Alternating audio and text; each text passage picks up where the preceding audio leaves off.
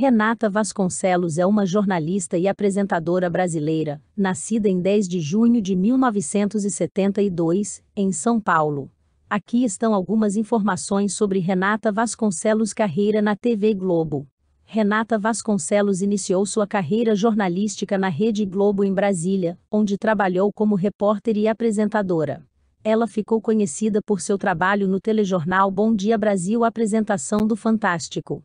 Renata também apresentou o programa Fantástico, um dos programas mais populares e duradouros da TV brasileira, conhecido por abordar variedades, jornalismo e entretenimento. Apresentação do Jornal Nacional.